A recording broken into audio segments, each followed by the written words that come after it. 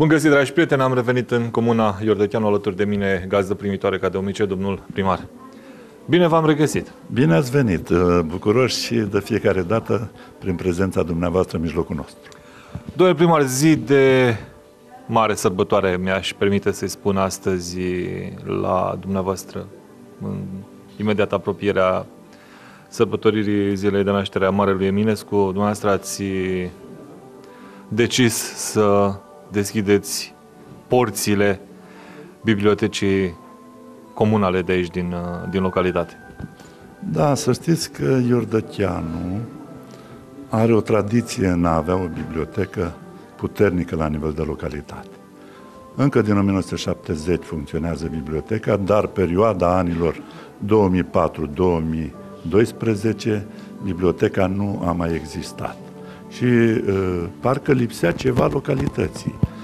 Având fond de carte, având posibilitatea să uh, repunem pe rol această instituție, am încercat cu uh, colaboratorii noștri, cu consilierii, să uh, redăm în circuit uh, volumul de carte existent, dar pentru aceasta a trebuit să facem un efort de a găsi localul de a crea condiții omului care vine să citească o carte și am reușit să punem în valoare fostul local al școlii primare din satul Plavia, care a fost de-a lungul timpului desființat și această clădire nu făcea altceva decât să se uh, dărăpâneze. Domnul primar Uh, aici de față, în urmă cu mulți ani a fost, uh, dacă nu mă înșel, 3 ani bibliotecar. 4 ani.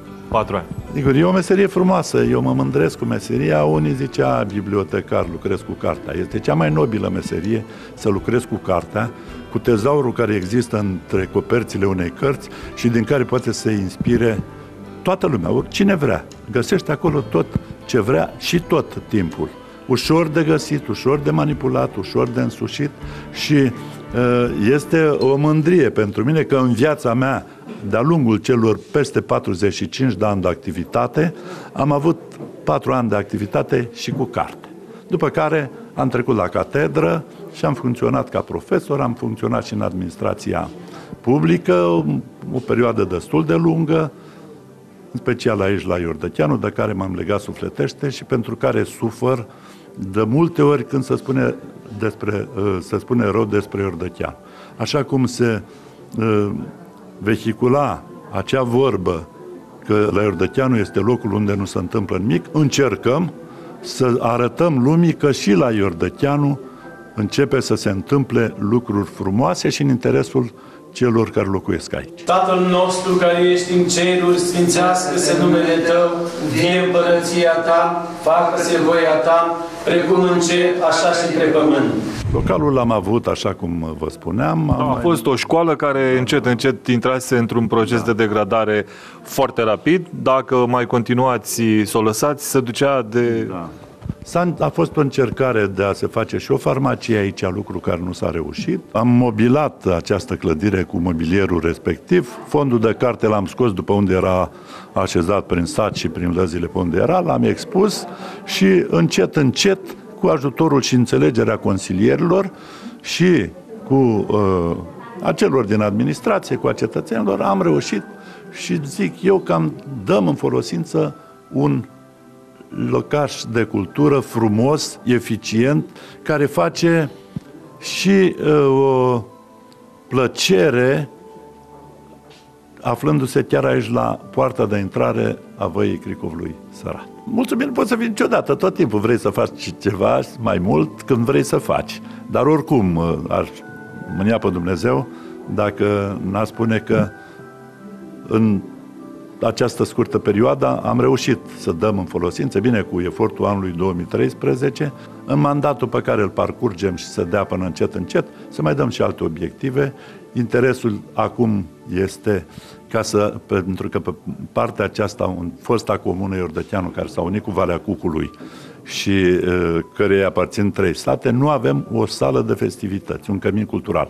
Eu am făcut deja de mersuri pe la Consiliul Județean pentru un parteneriat să construim și un cămin cultural uh, la centru, pentru că nu avem posibilitate să ne întâlnim așa într-un cadru mai larg cu cetățenii sau să prezentăm un program artistic, să venim în sprijinul lor, a tuturor generațiilor, celor mici, celor tineri sau celor bătrâni, oferindu-le așa condiții cum ar trebui. De aceea eu insist și am să insist tot timpul cât o fi la primărie și după, ca să construim și la Iordăteanu un cămin cultural. Nu vreau decât uh, tot ce a fost legat de biblionet s-a văzut din imagini și puteți, printr-o simplă accesare, cuvântul biblionet pe internet, să găsiți orice vă interesează legat de acest program. Vroiam doar să felicit pe domnul primar pentru că această mică comunitate a intrat în programul Biblionet pe ultima sută de metri, chiar și postul de bibliotecar a fost scos la concurs pentru a putea ca biblioteca să facă parte din programul Biblionet și mă bucur că face parte din cele 66 de biblioteci comunale și orășenești care până în prezent au fost informatizate în județul Prahova. Felicitări! Vreau să rețineți că la Mănăstirea Bărbila a fost una dintre mai frumoase biblioteci în care mănăstirii secolului XVII.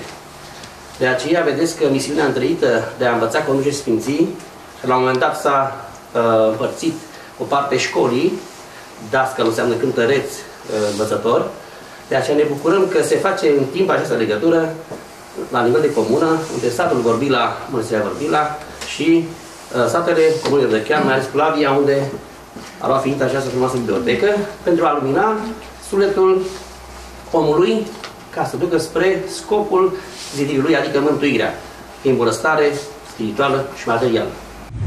Faptele antisociale se produc pe fondul lipsei de educație, a lipsei de informație, iar faptul că la nivelul nostru, la nivelul local, s-a înființat această bibliotecă, poate da tinerilor și nu numai tinerilor, și celorlalți cetățeni, posibilitatea de a se informa, de a primi, inform, de a primi uh, diverse uh, date despre toate domeniile de activitate și cu acest, prin acest uh, lucru se pot autoeduca. La început de drum, ca și această bibliotecă nouă, domnișoara Ionela Stancu, bibliotecar. De unde dragostea asta, de unde pasiunea asta pentru carte? De când eram mic copil, încercam să citesc tot felul de cărți, să mă cultiv, să știu mult mai multe pentru mine și chiar dacă nu am urmat studii pentru așa ceva, pasiunea a rămas în continuare și o să rămână în continuare până când o să îmbătrânesc. Spuneți-mi ce înseamnă pentru o comunitate o astfel de bibliotecă. Ce înseamnă pentru locuitorii de aici, din Iurtăteanu, realizarea acestei biblioteci? Reprezintă un, un univers. Universul cărții este o altă lume Uh, știm cu toții că tineretul nu mai este atât de mult atras și prin uh, acest program, prin um, activitățile pe care le vom întreprinde de acum înainte, sperăm să atragem cât mai multe persoane, indiferent de religie, de... De vârstă. Exact, de vârstă, de condiții sociale, sunt bineveniți absolut toți mm, locuitorii comunei. Chiar dacă am trăit și eu în epoca aceasta calculatoarelor, mm, am avut calculator de când eram micuță, tot cartea este cea care mă face să simt cuvintele bine și uh, înțelesul mult mai bine. Uh, pot să stau întinsă în pat cum vreau, ca să citesc o carte, așa la calculator e un dificil și nu mă dor nici ochii, ca să spun pe drept. Da. Este altceva, o carte, să o ții în mână și să simți cartea fizică, nu electronică. Se sfințește clădirea aceasta cu harul preasfântului Tău Duh și prin stropire cu apă sfințită, în numele Tatălui și al Fiului și al Sfântului Duh. Amin.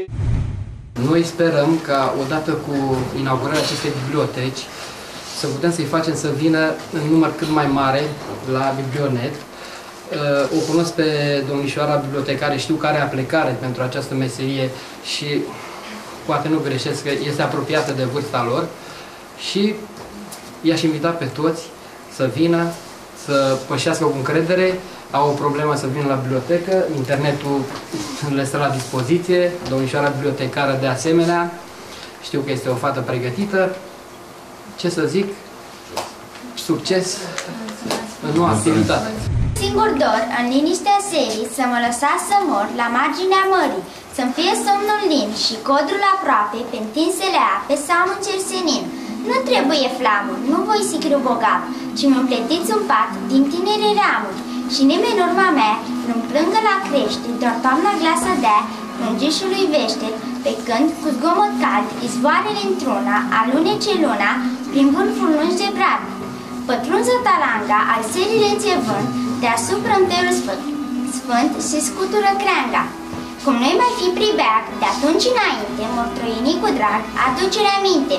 Luceaful ți răsar, din umbră de cetin, fiind un prieten, o să-mi zâmbească iar.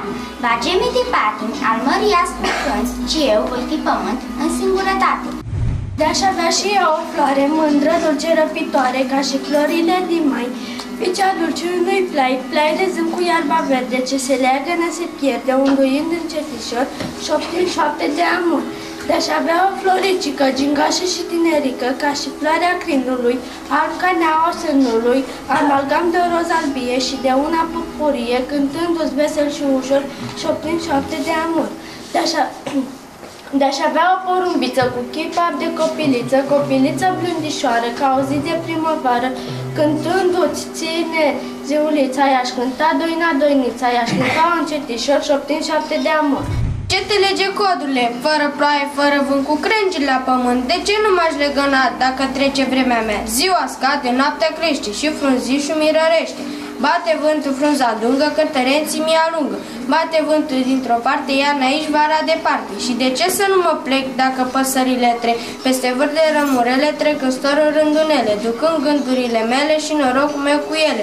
Se duc pe rând pe rând zarea lumii tunecă și se duc a clipele scuturând aripile și mă lasă pustiit, vestejit și amorții și cu dorul singurel de mă numai cu el. Ile Caragiale, în articolul omagial, scris cu ocazia morții poetelor, spunea Era o frumusețe, o figură clasică încadrată de niște plete mari, negre, o frunte înaltă, senină, niște ochi mari, la aceste ferestre ale sufletului se vedea că cineva este înăuntru, un zâmbet blând și adânc, melancolic. Avea aerul unui sfânt tânăr coborând într-o veche icoană, un copil predestinat durerii, căruia îi se vedea scrisul unor chinuri viitoare. Așa l-am cunoscut atunci, așa a rămas până în cele din urme momente bune, vesel și trist, comunicativ și ursus, blând și aspru, ves, uh, mulțumindu-se cu nimic și nemulțumindu-se întotdeauna de toate. Aici, de o abstinență de pustic, aici, apoi lacum de plăcerile vieții. Fugind de oameni și căutându-i nepăsător ca un bătrân stoic și iritabil, ca o fată nervoasă. Ciudată amestecătură fericită pentru artist, nefericită pentru om. Acest Eminescu a suferit de multe. Da, dar nu s-a încuvăiat niciodată. Era un om dintr-o bucată și nu dintr-una care se găsesc pe toate cărările. Generații întregi or să vină să suie cu pompă dealul de la dealul care duce la șerba în vodă, după ce vor fi umplut cu nimicul lor o vreme. Și o bucată din care să scoți un alt Eminescu nu se, vor mai, nu se vor mai găsi vreodată. Să doarmă în pace necăjitul suflet. De când ați venit de uh, aproape 2 ani, au început să se miște lucrurile și aici, cum era și normal, pentru că ați spus la un moment dat într-un speech uh, de mai devreme că multă vreme despre uh, o perioadă de timp destul de lungă despre Rodăcheanu s-a spus că e locul unde nu se întâmplă nimic. Sunt vreo 14 obiective realizate, acesta fiind al 15-lea obiectiv, care le-am dat în folosul uh, comunității ca lucrurile să înceapă să se așeze pentru o localitate care uh, tinde să devină o localitate, o comună europeană, cu posibilitățile pe care le avem și ar fi păcat că avem o așezare destul, destul de frumoasă aici, pe un podiș care mulți ne invidiază. Feriți de toate cele ale intemperiilor care se produc în lume și uh, în țară, uh, vitregiile acestea ale naturii, uh, pe noi ne mai ocolesc, suntem feriți de foarte multe Uh, lucruri. Și ar fi păcat ca să nu așezăm, fiind și aproape de uh, cele uh, patru orașe care ne înconjoară, Mizilu, Scăieniu, uh, Ploieștiul, Lațiu. Deci ar fi păcat să nu fim și noi, într-un fel, ai secolului 21.